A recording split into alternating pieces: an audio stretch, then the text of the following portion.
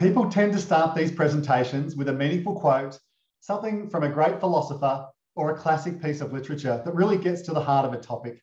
And I'm no different. In the words of the great children's book author Felice Jacka, there's a zoo in my poo. Indeed, there's a zoo in all our poos because our poo, also known as microbiota, is a product of our digestive system's microbiome, a vast and complex system of good and bad bacteria coexisting in a fragile balance. But if you ask the average person what's in their poo, they'll probably just say last night's dinner, which led our team to a very interesting challenge. How do we get people to realise what's in their poo and how can we convince them to donate it for the greater good? Why would we want to do this? Well, at Lifeblood, we've established a pilot program in Western Australia to provide Fiona Stanley Hospital and Fremantle Hospital with a reliable supply of fecal microbiota for transplant, also known as FMT, to treat patients suffering from life-threatening C. difficile infection. FMT involves collecting microbiota samples from healthy donors, testing, processing, and transplanting it into patients suffering from C. difficile infection. In the future, this therapy may also help people with other bowel conditions like Crohn's disease and ulcerative colitis, or even play a role treating mental illness. The potential is huge, which may explain why we are only one of many studies happening in this space at the moment. From bone marrow to breast milk, organs and tissue, and of course blood, here at Lifeblood we have over 90 years experience in the field of biological donations and we're using that experience to find new donors for our microbiota program. But while we understand what makes blood donors give, understanding the motivations of a microbiota donor presented a new challenge. While we all have bowel movements, how we feel about them and even how we have them can vary from person to person.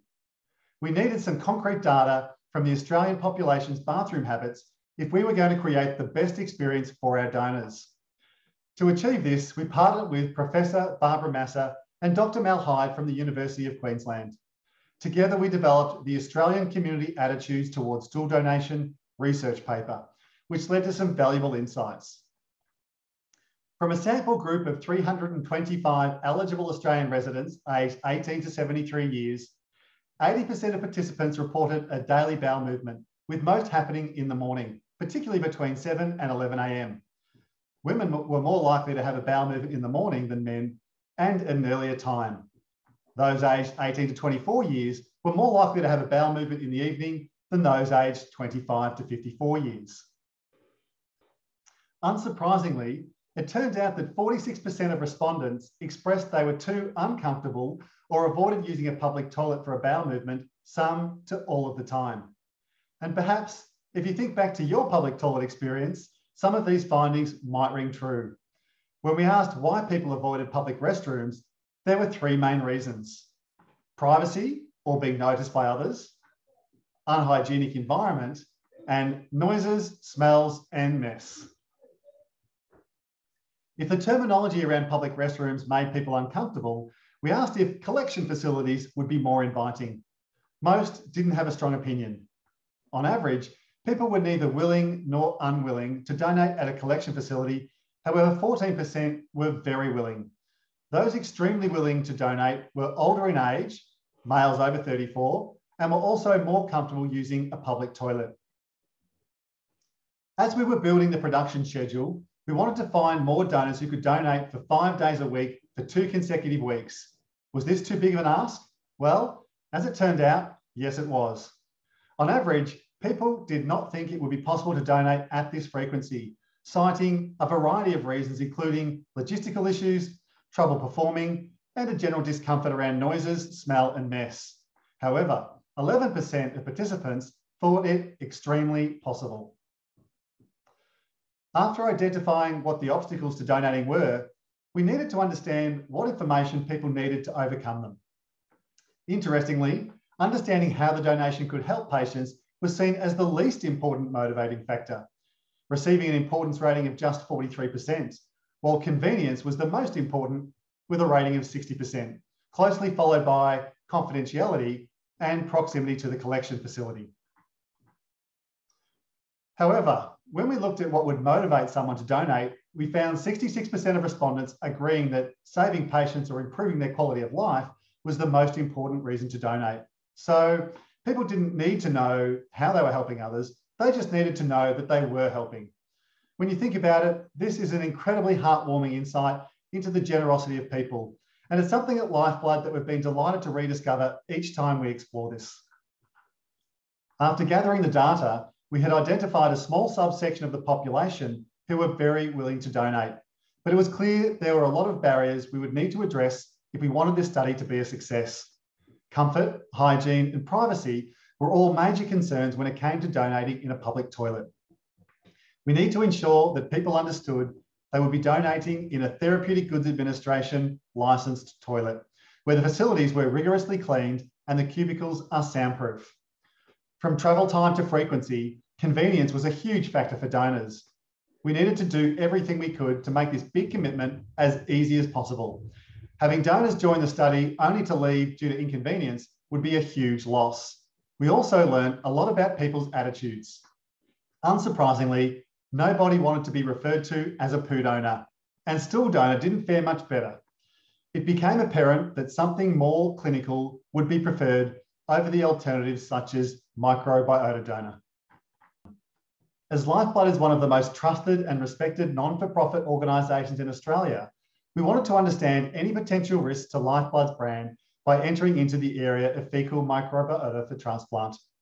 To understand the risks, we undertook a market assessment to test donor and public perception and determine any brand risk that may arise. An online survey was designed to contact non-donors, blood donors and clinicians. The survey covered overall reception to the idea of microbiota donation, how they felt this would impact Lifeblood's brand, and their likelihood to donate. Fortunately, there was a positive impact on the brand.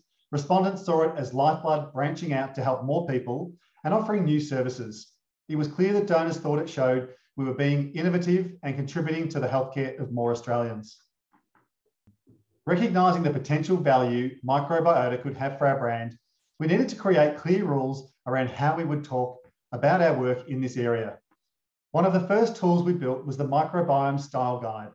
The Style Guide is used in conjunction with the Lifeblood Language Guide, which defines Lifeblood's personality and style of writing. This guide helps us stay on message and create a professional, compassionate, and heartfelt image of our microbiome pilot. Once we had an understanding of how we wanted to present ourselves as a brand and how we were going to talk to our donors, we needed to decide the best way to recruit them. To begin, we mapped out each step an applicant had to make to become a successful donor. We broke them down into phases, pre-donation for donor recruitment, donation for the collection model, and post-donation for retention, along with pain points, opportunities, and establishing any minimum viable features required for each step. We took the donor journey to an external group for validation, as well as our internal staff donors who were part of the donor testing panel. These donor journey maps are constantly updated to reflect the new insights we gather. The maps inform the design of both recruitment and collection models. To streamline our recruitment process, we designed a communication platform that allows donors to receive automatic messaging. The platform also allows donors to self-defer by taking an eligibility quiz, as well as supporting the donors in making an appointment and appointment reminders. This low-code tech can be changed and tweaked quickly to ensure we receive optimum expressions of interest from the public and create a seamless user experience for our donors. Of course, a communication platform is nothing without the right message. Taking all the quantitative research, the qualitative donor insights, and customer journey maps, we developed a communication strategy built around a primary message that donating poo is a natural yet remarkable habit that helps people in need and gives you a feeling of accomplishment. To support this message, we incorporated a number of motivators in our communications too. Egotistic altruism, doing something good for others that will make you feel good. Be part of something bigger. As a microbiota donor, you'll be part of innovative research. Reassurance. The entire process will be clean, safe, convenient, and private. These messages were incorporated into all of our communications. To show how they work together, let's take a look at one of the videos produced to educate prospective donors. Donating poo is a generous thing to do. At Lifeblood, we truly appreciate the effort our microbiota donors make to help others. So we're making donating as convenient, easy, safe, clean, and private as possible. Here's how it works Step 1 Donor screening. They say it takes guts to change someone's life. Just like our other donors, microbiota donors need to be screened to make sure they're healthy and that their donation is safe for the person receiving it. The screening process starts with us sending you an SMS with a few questions. Once that's done, you'll get a call from a friendly and discreet staff member with some confirmation questions. And then they'll book you in for an appointment for the final stage of screening. At every stage of the process, any personal and confidential information we gather from you is covered by privacy laws and our privacy policies. The screening requirements for donors are extremely thorough for patient safety, which means a lot of people don't make it to donating, even if they're generally healthy. So, if you do, you're pretty special. One in a handful of unique, life giving microbiota donors in Australia. Step 2 Donating. Donating takes place at a private, single purpose area at Lifeblood's Perth Processing Centre. You're able to schedule in a time beforehand that aligns with your body's own schedule and ensures your privacy. The donation toilet is a private, well ventilated, soundproof, cosy room that is thoroughly cleaned to pristine condition after every visit. It's not like a public toilet. This is as private and as hygienic as a toilet can get. After a quick interview to make sure you're okay to donate, you'll be given a donation kit and plenty of time to relax in a private sitting area to let nature take its course. Once you're finished, one of our coordinators will collect the donation kit and you'll be on your way, knowing you've done something good for the day. Step 3 Regular donations. Once you've taken that first step, the most important thing for you to do as a donor is to give regular donations as often as you can. The more times you donate, the more people you can help. As a microbiota donor, your donations could help change the lives of people suffering from debilitating recurrent Clostridioides difficile infection and contribute to the advancement of science in this field that could ultimately change the lives of hundreds of thousands more.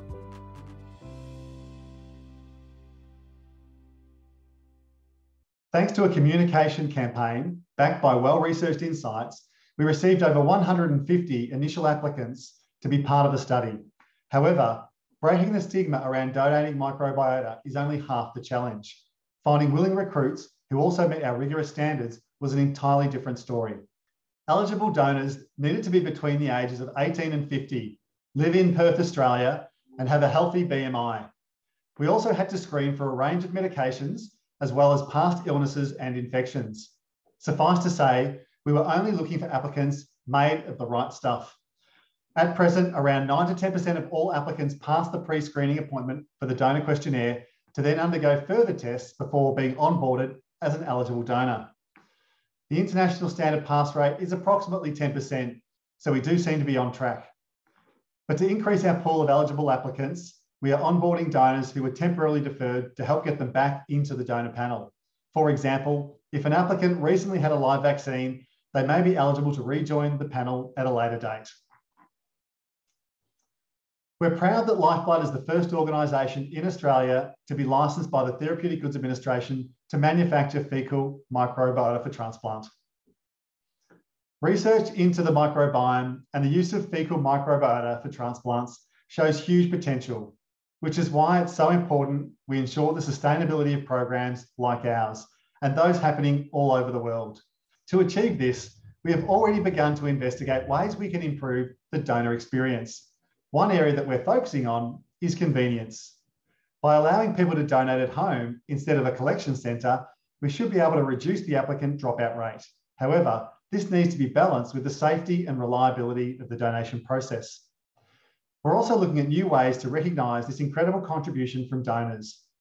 Regardless of how our donors donate, they're still making a huge commitment and we need to ensure that they have the best possible experience. While we're not incentivising donors, we can do our utmost to make sure they feel appreciated. Currently, we're sending a thank you SMS after their donation and another SMS when their donation has been transplanted to a recipient. But hopefully in the future, we can trial new ways to appeal and thank even more donors. And with that, I should thank you for going on this journey with me and letting us share all the incredible work the Lifeblood team and our partners are undertaking.